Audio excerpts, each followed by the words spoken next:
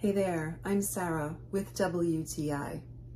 I needed something that would give me a little bit of calmness, help me take away a little bit of stress throughout my day. And I found that with these Calm Gummies. They are from NutraChamps. It's the soothing herbs in the natural berry flavor. I love the fact that they come in a two pack, so you get 90 of these in each bottle. It helped to soothe my stress. It helps me stay relaxed without being groggy.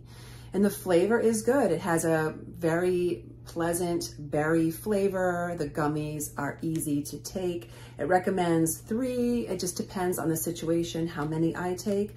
What's important for me in these gummies is the fact that they're vegan, soy-free, gluten-free, and plant-based.